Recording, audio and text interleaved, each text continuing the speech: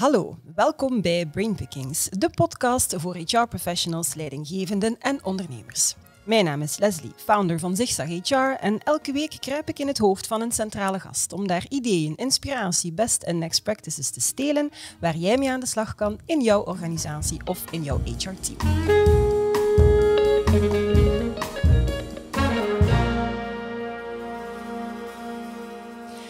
De war for talent die is vervangen door een fight for fit. Niet het vinden van getalenteerde medewerkers is, het uit, is de uitdaging nu, maar wel het blijvend binden en boeien van al dat talent. En dat dat niet zo gemakkelijk is, dat weten we ondertussen denk ik wel al allemaal. Maar het is toevallig wel de specialiteit van Bright Plus, het voormalige Secretary Plus dat velen onder ons waarschijnlijk nog wel kennen. Nu, Linda Capelle, die is algemeen directeur bij Bright Plus, zij schreef daar een boek over, Fulltime Gepassioneerd, met de focus op well-being, want hoe belangrijk welzijn wel is op het werk, dat maakte ze eigenlijk van dichtbij mee. En samen met haar team ging ze op zoek naar een behapbaar model om van welzijn op het werk een prioriteit te maken. En omdat ze zag dat dat model best goed werkte, wil ze nu aan de hand van haar boek zoveel mogelijk mensen gaan inspireren en dat met zoveel mogelijk mensen delen. Wel, in die dame haar hoofd wou ik dus ook echt wel eens kruipen. Dag Linda. Hallo. Alles goed met jou? Absoluut. Helemaal klaar voor? Ja, denk het wel. Oké, super. Dan gaan we van start. De titel van jouw boek is Fulltime Gepassioneerd. Omschrijft dat ook wie dat jij bent als persoon?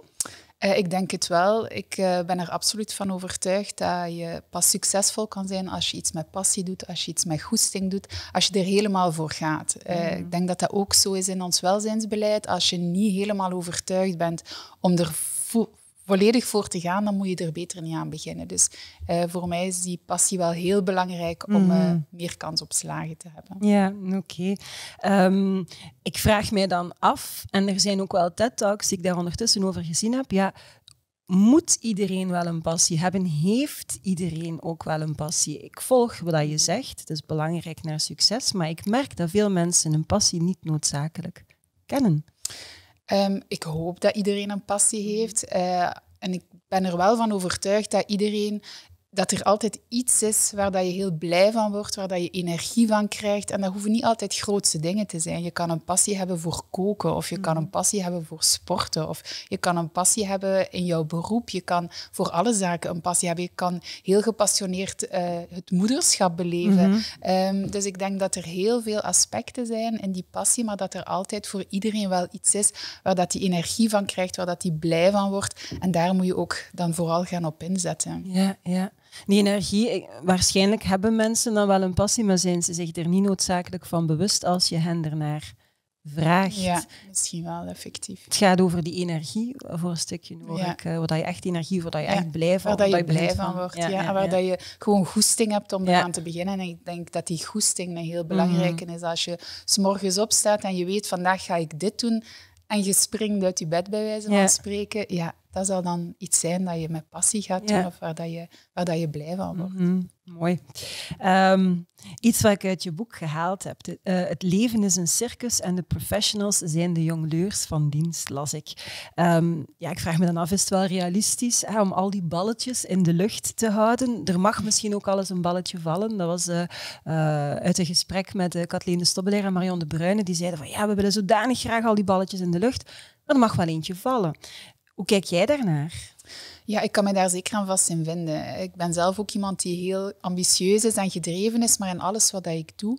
Um, en we willen een heel toffe mama zijn, we willen mm. een heel toffe partner zijn, we willen de beste dochter zijn, we willen een toffe vriendin zijn en uiteraard willen we ook een heel goede medewerker zijn en, of een goede manager zijn. En we willen zoveel en we willen dat op een, op een heel goede manier doen. Daar zit soms een beetje een vorm van perfectionisme mm-hmm. ook in.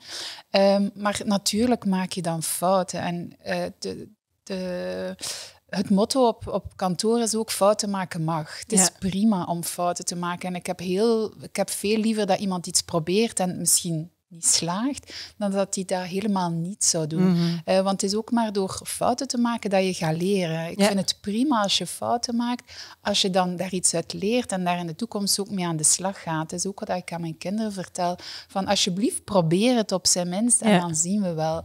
Dus uh, maak ik fouten? Uiteraard maak ik fouten, maar zolang dat je die fouten kan erkennen mhm. en dat je er effectief iets mee doet of iets uit leert, dan is het helemaal prima. Ja, ja. belangrijke aanvulling wel, dat je er iets mee doet. Want het is ook mensen die fouten maken en ze dan gaan ontkennen in alle mogelijke talen of de fout op iemand anders proberen doorschuiven. Ja. maar er mag een balletje vallen, hoor ik. Ja, absoluut. Ik denk dat dat ook niet realistisch zou zijn als er geen balletjes zouden vallen.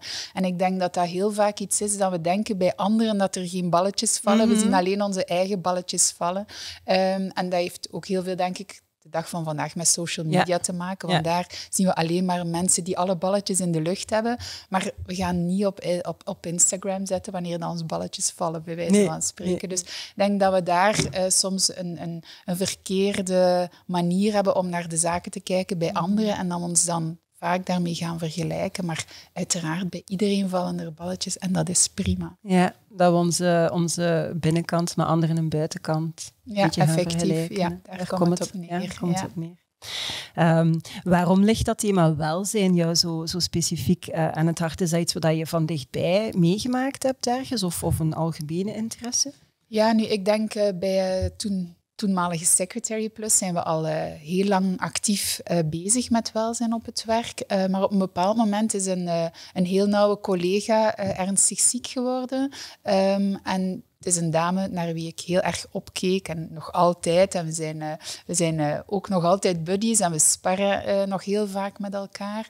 maar het feit dat zij kon ziek mhm. worden en zo iemand ambitieus, gedreven, echt een power madame, dat was bij mij even een wake-up call. Van ja, oei, oei, als dat met haar kan gebeuren, dan kan dat met elkeen van ons gebeuren. En ja, ik, ik ben ook iemand die heel ambitieus gedreven is, dus we, we zitten in die rat race en we doen gewoon door. En dat was even een moment van oei, hier moeten we wel mee oppassen. Want als dat met haar kan gebeuren, kan dat met mij gebeuren, maar met iedereen bij ons op het werk. En we zitten nu eenmaal in een uh, business waar dat we met heel veel dames werken, heel veel jonge mama's. En dan zie ik dat heel veel van onze mensen ook struggelen met wat we daarnet zeiden. Ik wil een toffe mama zijn, maar ik wil ook alles doen wat ik moet doen op, het, op kantoor en zo verder. Je moet die, die balans ergens proberen in evenwicht te houden. En dan had ik zoiets van, nu moeten we daar eventjes bij stilstaan en, te, en gaan kijken wat kunnen wij als organisatie doen om mensen daar een stukje in te begeleiden, om ze daarin te helpen, om, om een aantal handvaten te geven, maar ook vooral om een voorbeeldrol te gaan mhm. spelen. Uh, en toen zijn we aan de slag gegaan met een aantal heel kleine zaken, uh, maar die wel direct een, een grote impact hadden. Ehm, en dat, dat was het moment bij mij waarop dat ik zei van, hier moeten we wel iets mee gaan doen. Ja omdat je het van inderdaad heel dichtbij gezien had van iemand ja. die zegt, amai, als zij dat voor heeft, ja, watch out. Maar zeker ook ja, veel jonge vrouwen, al, allemaal al die balletjes in de lucht, maar toch ook in een vrij competitieve sector. Ja, Ik denk uh, zeer, het moet allemaal heel snel gaan ook. Hè? Dus, uh, Liefst gisteren. Ja. Ja, inderdaad. Um, succes dan begint bij een, uh, bij een gelukkig team. Dat is de ondertitel dan hè, van jouw boek. En wiens verantwoordelijkheid is dat dan? Uh, dat iedereen in het team gelukkig is? Ik ben daar echt als persoon en, uh, van overtuigd dat je pas succesvol kan zijn als iedereen zich goed voelt mhm. in, uh, in zijn vel in de organisatie. En zoals ik daarnet zei, ergens heb je als, uh, als managementteam, als leidinggevende, een voorbeeldrol mhm. te spelen. moet je ook aangeven van het is oké. Um, dat je ergens ook de mensen aangeeft van het is oké als je even de tijd neemt om die wandeling te maken. Mhm. of, maar langs de andere kant is het een absolute gedeelde verantwoordelijkheid. Wij kunnen als managementteam van alle zaken voorzien. Wij kunnen de mensen ruimte geven, tips en tricks geven. Ik kan daar een boek over schrijven. Mhm. Dat is allemaal ja, uh, heel mooi. Maar als de mensen zelf niet overtuigd zijn en als je dat draagvlak niet hebt, dan ga je niet succesvol mhm. zijn. Dus daar is voor mij die, die wisselwerking heel belangrijk. Dat je niet alleen iets top-down gaat lanceren, maar dat je het vooral bottom-up laat, laat gebeuren. Dat je mensen mee inspraak geeft, dat je mensen mee uit een comfortzone gaat halen en dat je hen vraagt van kom met ideeën, kom met initiatieven. Ga ze dan ook zelf uitwerken en ga ze dan ook zelf gaan implementeren.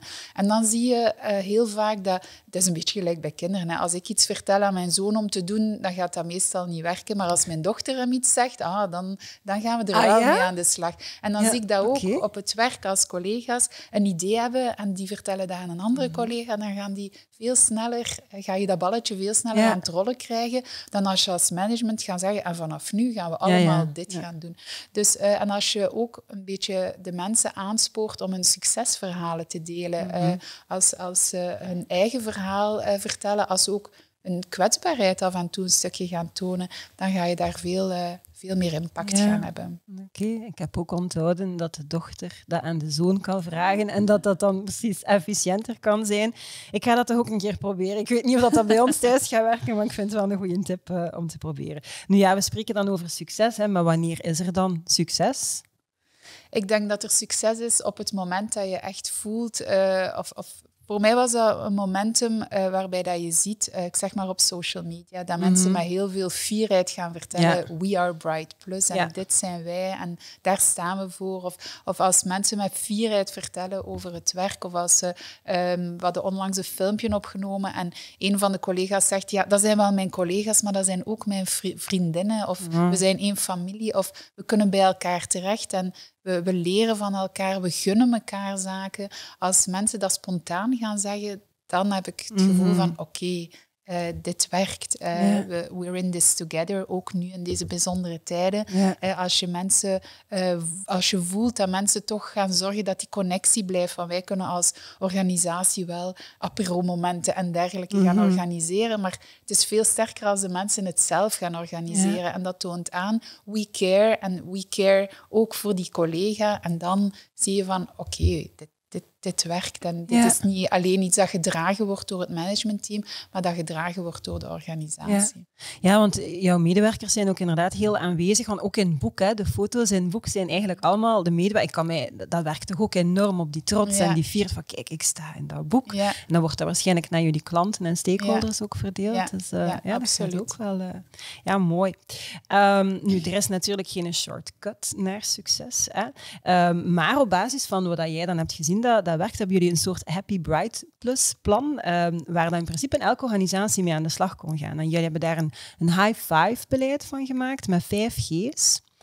Misschien dat we ze een beetje proberen eh, te overlopen. Ik eh, heb ze opgelijst. De eerste G van gezond. Wat zit daar dan bijvoorbeeld allemaal in vervat? Nu, dat was de gemakkelijke G. Ik denk eh, dat er ook heel veel bedrijven meteen met die G aan Ja. de slag gaan. Dat was ook ons eerste thema. Dus we hebben elk jaar een jaarthema. En dat was ons eerste thema, was Healthy Mind in a Healthy Body.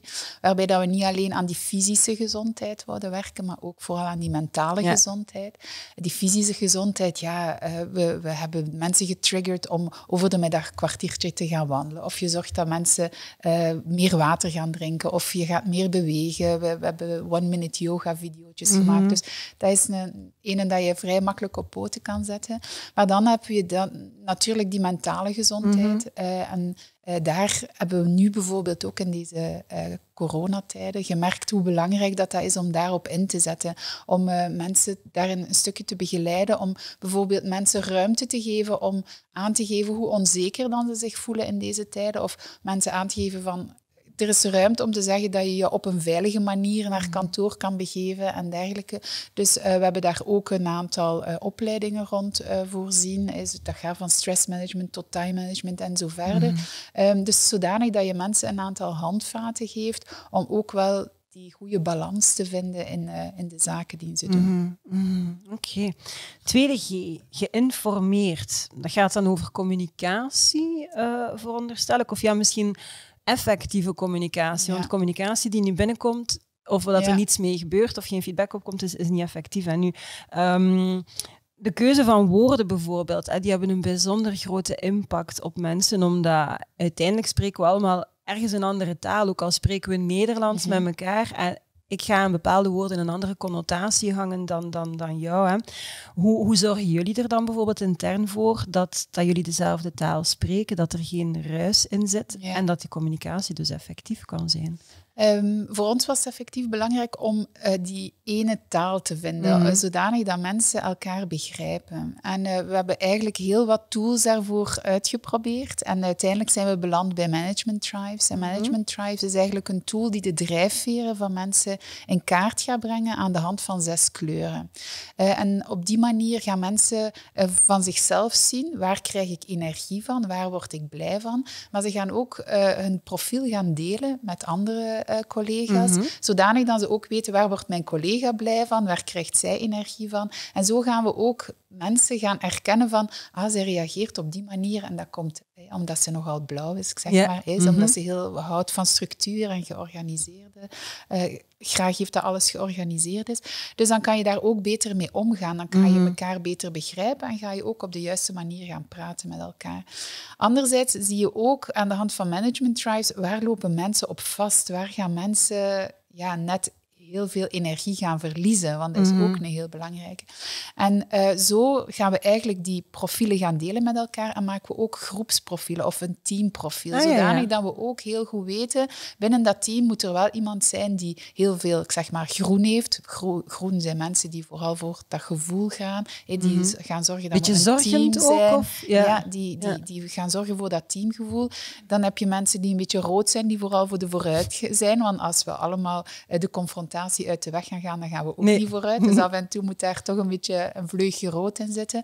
Oranje mensen die eerder voor dat resultaat gaan. Blauw, Mhm. die zorgen dat alles mooi gestructureerd lo- loopt. Eh, geel, die dan meer analytisch gaan denken. En zo ga je eigenlijk een heel mooi team gaan samenstellen. Ja. En gaan mensen dat ook gaan appreciëren dat iemand anders is dan zijzelf. Ja. Want ja, we hebben dat wel nodig in het team om te zorgen Mhm. dat het vooruit gaat. En we hebben dat nodig in het team om het af en toe een keer gezellig te maken eh, of een keer eh, ja, te, te praten over andere zaken dan, dan Mhm. puur onze cijfers of eh, waar dat we mee bezig zijn. Ja. Dus ehm, die, die, die complementariteit is daar net heel erg belangrijk. Ja, dus dan, dan, dan zit je inderdaad, eh, dan kun je bijna, moest je die, die kleuren niet hanteren dan als gemeenschappelijke taal en dat team werkt niet. Hè. Je kunt als een van, dat marcheert Ja. niet in het ene team, dan er wel. Ja, als je dan inderdaad die oefening gaat doen en merken dat bepaalde kleuren er niet zijn of Ja. ondervertegenwoordigd of oververtegenwoordigd zijn, dan gaat het helpen. Ik heb daar wel altijd een bezorgdheid bij in de zin van het mag niet betekenen dat mensen dan in hokjes gestoken worden. Je hebt zo van die profielen en, en rood is resultaatgericht of ja, maar jij zijt dus Ja, dat mag Nee, niet de dat mag- bedoeling dat mag zijn. net hè? niet de bedoeling Ja, zijn, want ja. er is niemand met één kleur. Nee. Je hebt wel een hoofdkleur, Ja. maar je hebt ook nog altijd andere kleuren. En daar gaan we mensen ook wel in gaan stimuleren, Mhm. want het is niet omdat je dan ja, dat jouw hoofdkleur is, dat die andere niet belangrijk Ja, zijn. ja, Dus je moet wel altijd zorgen dat alles een beetje in balans is. Maar door net dat beeld te hebben, kan je ook mensen beter gaan coachen of gaan Mhm. begeleiden. Of kan je ook, want je kan daar misschien gaan op inzetten. Of. En dat helpt ook wel een, een leidinggevende om eh, mensen beter of anders te gaan coachen en te gaan begeleiden. Ja, absoluut. Dus het is eigenlijk niet van ehm, zo ben ik en dat is het dan maar. Nee, is- want dat zou wel heel ja, beperkend ja, zijn. maar Dat, je, dat je een stukje bewust wordt van, ah oké, dus daarom reageer ik zo. Dus ik heb daar misschien wel Ja. een ontwikkelpunt. Of, Ja. of, ja, ja oké. Ehm, wat ik regelmatig hoor, niet alleen nu met, met, met, met eh, de, de COVID-situatie, maar daarvoor van hoeveel communiceren. Je hebt mensen die zeggen, ja, ik wil eigenlijk continu op de hoogte zijn, dus doe maar, geef maar. En andere mensen die gewoon knettergek worden van alle apps Ja. en tools en notificaties. Ja, wat, wat is dat dan volgens jou de juiste hoeveelheid? Het is een heel moeilijke balans natuurlijk. En we hebben dat ook een beetje moeten zoeken. Hè, want een welzijnsbeleid is niet iets dat je eenmalig Mhm. maakt, maar we moeten daar elke dag opnieuw aan sleutelen. Eh, en dat is een, een moeilijke balans, want het is effectief zo. Sommige mensen zouden elke dag willen iets Mhm. horen en anderen hebben zoiets van, alsjeblieft, laat mij maar rust. Dus we hebben daar ook een beetje een goede balans moeten in zoeken. We hadden daar natuurlijk wel al een stukje ervaring mee, omdat we natuurlijk op allemaal verschillende vestigingen eh, Mhm. zitten. Hè. Dus eh, we zitten nooit allemaal samen in één gebouw. Dus we hebben wel die regelmatige eh, tijdstippen waarop dan we communiceren. Maar ik denk dat het vooral belangrijk is om heel eh, duidelijk, transparant te gaan communiceren, kort en bondig, dat je daar niet elke Mm. keer grote, lange verhalen van maakt, maar dat je probeert kort en bondig, duidelijke taal en dat je ook communiceert op het moment dat je het niet weet. Ehm, Ja. Want wat ik altijd een belangrijke vind in communicatie is dat er geen ruimte is om zelf te beginnen verhalen te bouwen. Eh, en dat je Want dat gaan altijd negatieve verhalen ja, zijn. Hè? dan- ja, ja. Dus probeer altijd ook, eh, bijvoorbeeld bij COVID, ja, in het begin, de eerste lockdown, we- hadden ook niet alle antwoorden, Mhm. maar dan kan je dat ook wel meegeven van, Mhm. oké, dit weten we niet, we gaan het uitzoeken en we komen er dan op terug. Ja. Zodanig dat mensen niet, oh, ze, ze denken daar niet aan of dat zijn ze Mhm. vergeten. Of, ehm, dus probeer wel daar een goede balans in te vinden om het ook kort en bondig en vooral duidelijk en ook in de taal van de mensen te spreken. Dat je daar niet te hoogdraverig of te moeilijk maakt, zodanig dat ja, niemand jou eigenlijk nog begrijpt. dus probeer ook altijd ik zeg dan altijd, je moet spreken zoals dat je aan het koffiemachine zou spreken. Zodanig dat je, ja. mensen spreken mensen, dat je het wel Mm zo transparant en helder mogelijk overbrengt. Dat is inderdaad een goede tip, gelijk als dat je het zo zou zeggen. Want we hebben de neiging, zelfs als je soms teksten op een website ook ziet, vind ik dat van, wat is er gebeurd? Als ik dat nu zou vragen, die persoon die gaat nooit zo met mij spreken. Dus vind ik wel uh, een, een goede tip. Ja, dan gelukkig, de G van gelukkig komen dan. Hè. Um, ja, dan hoor ik heel vaak, het, het moet klikken. Hè. Als mensen ergens willen werken, het moet klikken. Met wie moet dat dan klikken? Met, met, met, met collega's, met, met het bedrijf en het DNA van het bedrijf of met de jobinhoud? Ja. Nu, ik denk dat we daar de afgelopen jaren enorm in geëvolueerd zijn. Ook mhm. als wij kijken, uh, puur in onze sector, als er een cv binnenkomt, dan kijken we vooral welke taken heeft die persoon, welk mhm. diploma en zo verder. Nu gaan we eigenlijk heel vaak gaan kijken, Gaat die persoon fitten in die organisatie? Mhm. Gaat die persoon klikken met de DNA van die organisatie? En heel vaak de taken, ja, die kan je dan wel gaan aanleren. En mhm. zo gaan wij zelf ook heel vaak gaan recruteren. Dat we kijken, is dat iemand die past binnen ons team? Is dat iemand die past binnen onze organisatie? De, de person-organization mhm. fit. Um, is die er? En op basis daarvan kan je dan gaan recruteren. Uiteraard moeten er een aantal basisgegevens aanwezig zijn. Hè. Mhm. Ehm, maar uh, we gaan heel vaak gaan inzetten op die person-organization fit, omdat je daar veel meer kans hebt op een lange termijn verhaal, op een lange termijn samenwerking, dan dat je iemand hebt die ja, de, de perfect match is met de job, mhm. maar ja, die eigenlijk niet past in de cultuur of in het DNA van de organisatie. En dan is het natuurlijk wel belangrijk dat je als organisatie weet, wat zijn onze waarden, waar staan wij voor, wat vinden wij belangrijk, en dat je wel die die, die test gaat doen binnen je organisatie, uh, om te weten, ja, als we nu een lijn zouden trekken naar mm wat is nu een typische medewerker van, in ons geval Bright Plus, ja, waar moet hij dan precies aan voldoen? En eenmaal dat je dat hebt, helpt je dat ook wel in jouw recruteringen natuurlijk. Ja. Zo, die fit, dat, dat doet mij regelmatig denken. En uh, als ik jou dat hoor vertellen. En uh, trek de lijn met een, een, transplantatie van een orgaan. En je hebt eigenlijk een zeer goed functionerend orgaan, een kandidaat. Een, een goed functionerend lichaam, maar met een, een orgaan dat, dat daar tekort is of vervangen moet worden. En toch kan dat zijn dat dat lichaam dat afstoot. En je hoort dat toch ja. regelmatig. Ik leg daar zo precies ergens een link. Het zijn eigenlijk twee elementen die zeer goed zijn. absoluut. Maar ook daar moet hij een fit zijn. En als die er niet is, wordt het zelfs letterlijk afgestoten door het lichaam. Dan wordt het heel moeilijk. Ja.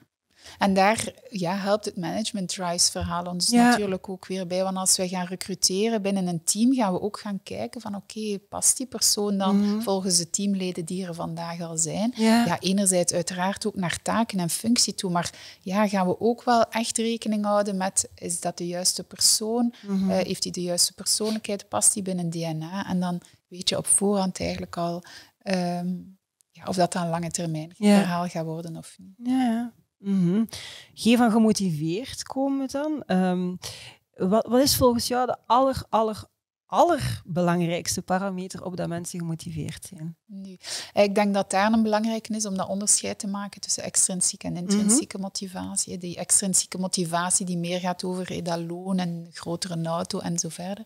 Die intrinsieke motivatie vind ik een superbelangrijke. Mm En die komt er eigenlijk, uh, en als ik een voorbeeld geven hoe dat wij dat vaak aanpakken, is um, mensen komen met ideeën. Uh, heel belangrijk is dat ze daar feedback op krijgen. Of dat mm. nu een goed idee is of een slecht idee is, dat doet er niet toe, maar mensen moeten feedback krijgen. En uh, als ze daar dan mee aan de slag kunnen, dan moet je ze ook de ruimte geven om daarmee aan de slag te kunnen. Dan moet je ze ook het forum geven van kijk, dit heb ik nu verwezenlijkt, dan mogen zij dat ook gaan voorstellen en dan mhm. mogen ze dat ook gaan implementeren. En daar worden mensen blij van. Dan, ze, dus dan ze kunnen zeggen van oké, dit heb ik nu verwezenlijkt, daar hé, hangt mijn labeltje op bij wijze van mhm. spreken. En ik heb dat ook nog kunnen delen met de anderen en iedereen is daarmee aan de slag. En daar gaan mensen blij of, of, of, of gemotiveerd van worden. Mhm. Dus voor mij is dat vooral het inzetten op ook een beetje op de groei van mensen, maar ook ze de ruimte geven om zich te gaan ontwikkelen, om te groeien, om ze ook het forum te geven. Ere wie ere toekomt, vind ik zelf een heel belangrijke. Mhm. Als ik presentaties geef, ga ik nooit ganse presentatie zelf geven. Ik ga altijd het woord geven aan diegene die het gedaan Ja. heeft, omdat ik Ja. wel vind, zij mogen nu op dat podium staan en zij mogen de pluimen daarvoor krijgen. Mhm. Dus, eh, en daar ja, gaan mensen wel, ehm, ja, halen ze vaak hun motivatie uit. Ja, oké. Je zei daarnet feedback. Ja, feedback is ook belangrijk bij, bij motivatie. Ehm, een heel interessante eh, reactie die ik gekregen had in een ander interview is... ehm, er is een verschil tussen feedback en kritiek. En dat verschil ligt bij de ontvanger, zei hij. Je krijgt feedback, maar je kunt dat binnennemen als kritiek. Ja. Mhm. Feedback heeft natuurlijk twee aspecten. Je hebt Ja. feedback geven, maar je moet ook leren om feedback te ontvangen. Mhm. Eh, en daar eh, denk ik dat Paul van den Bossen ons eh, heel goed in Mm, begeleid heeft. ja. Paul ja. van den Bossen zegt ook, feedback is breakfast for champions. Ik ben daar ook echt van overtuigd. Als je geen feedback krijgt, als je ervan uitgaat, ja, het zal wel allemaal oké zijn, daar leert je niet uit. Dus je Mhm. hebt ook wel die feedback nodig, uiteraard constructieve feedback, Mhm. Om te leren, om zaken op een andere manier te gaan bekijken, om die ook misschien op een andere manier te gaan aanpakken. Dus die feedback is heel erg belangrijk. En daar, ehm, dat, dat gaat niet vanzelf. We hebben ook onze mensen daarin opgeleid, of we doen dat eigenlijk constant. Eh, niet alleen om feedback te geven. En ik vind ook niet dat feedback enkel van een leidinggevende naar een Mhm. medewerker is, Mhm. maar van een leidinggevende naar een collega, eh, van een medewerker naar een leidinggevende, ook collega's onder elkaar. Feedback gaat in alle richtingen. Maar je moet natuurlijk één leren om feedback te geven op een goede manier. Mhm. En je moet ook wel openstaan om die feedback te ontvangen. Ja. Eh, en vooral die ingesteldheid krijgen van oké, eigenlijk ben ik blij dat ik die feedback krijg, want nu kan ik daar op zijn minst iets mee. Ja. Eh, en ik vind dat voor mezelf ook belangrijk. Mijn collega's geven mij ook feedback en ik ben daar dankbaar voor, want ja, op die manier ja, houden ze een beetje een spiegel Mhm. voor en dan weet ik, oké, naar de toekomst toe ga ik dat zo of zo gaan Ja. aanpakken. Dus ehm, ja, feedback werkt in alle richtingen, maar je moet daar wel een aantal handvaten geven om dat Mhm. op een goede en constructieve manier aan te pakken. Ja, feedback is breakfast for champions. Paul van den Bos, Ja. een van de vele mensen die de revue gepasseerd Ja, zijn ook ja. bij, eh, bij jullie. Ja, mooie, en mooie interviews. Ehm, Ik denk dat we aan de laatste G dan zitten van getalenteerd. Eh, hoe zetten jullie zelf dan in op groei en ontwikkeling bij, ehm, bij de medewerkers? Nu, ehm, die, die, die, die groei is uh, super belangrijk. Die, die, het ontwikkelen van die talenten. We gaan ook vooral mensen gaan inzetten op hun sterktes, omdat ik ook op die manier ervan overtuigd ben dat mensen kunnen bloeien. En Mhm. dan krijg je ook dat zelfvertrouwen en dan ga je vanzelf gaan stralen. Ehm, dus we gaan heel veel inzetten op opleiding. Als iemand bij ons opstart, dan ga je natuurlijk Ja. de volledige, eh, het volledige traject doorlopen. Maar ik- en dat doen de meeste bedrijven ook. Eh, maar wat dat heel belangrijk is, is dat je er altijd wel van bewust bent als iemand een opleiding volgt, dat slechts 10% van die opleiding blijft hangen. Ja. De rest ga je leren door een beetje eh, co- door coaching en begeleiding. Eh, en ga je ook vooral on the job gaan leren. En daar ben ik ook absoluut overtuigd van de kracht van herhaling. Ja. Heel vaak hebben we zoiets, ja, maar ja, ze heeft toch die opleiding gevolgd en ze moet dat nu toch wel weten. maar dat is niet zo, zo werkt het niet. En als we heel eerlijk zijn en naar onszelf kijken en we luisteren naar een, naar een podcast en dergelijke, dan zijn er altijd maar een paar elementen die, blijven blijven hangen. hangen. en waar dat je iets mee gaat doen, terwijl dat er veel meer elementen waren die Mhm. misschien interessant waren. En dat is net zo voor een opleiding. En daarom ben ik er wel van overtuigd dat je regelmatig zaken moet ga- gaan herhalen, dat je het wel wat snackable moet maken, Ja, ja. dat je niet voor elke keer volledig de full monty gaat, maar dat je daar zelf ook een aantal zaken uitplukt van, ah, misschien kan je daar iets Mhm. mee. Dus die, ehm, dat, dat inzetten op dat talent is heel belangrijk. Enerzijds door die opleidingen, ja, nu heel veel online, Mhm. maar eh, ook door e-learnings, waardoor dat mensen nog een keer kunnen opnieuw gaan, gaan kijken. Maar vooral ook door die coaching en de, de, on de, de learning on the job is een Mhm. heel belangrijke. Waarbij dat ik het ook heel belangrijk vind dat ze dat niet alleen leren van externe... ehm, externe docenten, of, Mhm. maar dat ze ook elkaar heel veel gaan Ja. leren. Als iemand heel goed is in iets, dan heb ik ook zoiets van, oké, dan ben jij vanaf nu de, de, de, de, go-to-partner om vragen te stellen. Mag jij ook die opleiding geven? Dus de opleidingen worden bij ons ook gegeven door iedereen binnen de organisatie. Uh, omdat het ook veel leuker is om dan een keer van een collega te horen dan, dan dat je dat van mhm. iemand extern hoort. En je kan makkelijker vragen gaan stellen. En je weet, na de opleiding kan ik altijd nog een keer daar terug ja. naartoe grijpen. Um, dus op die manier ga je het makkelijk maken voor de persoon die, de ontvanger van de opleiding, omdat die, ja, het is een collega, maar mhm. ook voor de persoon zelf. Het is wel leuk als je vier, heel fier bent, van uh, oké, ik heb, uh, ik heb uh, die opleiding kunnen geven of ik heb hier mijn kennis kunnen gaan delen. Mm Ik onthoud ook uw tip meerdere keren naar de podcast van Zeg Sahitja ja. luisteren. Absoluut, kracht van de herhaling. Oké. Nu, niet alleen KPI's, of, of, of misschien zelfs geen KPI's, ik weet het niet bij, bij Bright Plus, um, maar jullie hebben HPI's, Human uh, Performance Indicators, de kers op jullie welzijnstaart, ja. denk ik dan. Kan je daar misschien nog iets meer uh, over vertellen? Uiteraard hebben wij wel KPI's. We zijn ook een, een commerciële organisatie en we moeten natuurlijk ook onze resultaten te mhm. behalen. Uh, maar we doen dat in combinatie met HPI's. En HPI staat voor Human Performance mhm. Indicator. Uh, dus tijdens een evaluatiegesprek gaan we de KPI's bespreken. Je moet bepaalde resultaten behalen. Maar anderzijds de En dat staat eigenlijk voor het feit dat mensen elkaar gaan triggeren in de 5 mhm. Okay. dat wil zeggen bijvoorbeeld, um, ik ga voor mezelf een HPI maken dat ik ga inzetten op het feit dat iedereen op kantoor elke dag zijn liter water heeft gedronken. Of ik ga erop inzetten dat we al rechtstaand onze kantoormeeting gaan doen. Of uh, wat ik zelf bijvoorbeeld soms doe tijdens de nationale confcall. Oké, voor het volgende stukje gaan we allemaal al rechtstaand de, de presentatie volgen. Um, dat kan ook zijn, uh, ik ga erop toezien dat iedereen de e-learnings ga volgen uh, voortaan. En dan ga ik echt mensen daarin gaan joggen van, kom aan, heb je je opleiding al mhm. gevolgd? Dan ga ik inzetten op die uh, G van getalenteerd. Of ik, ik heb een vergadering bijgewoond. Ik ga erop toezien dat iedereen geïnformeerd wordt over de zaken die we daaruit gepikt hebben, die interessant zijn voor ons kantoor.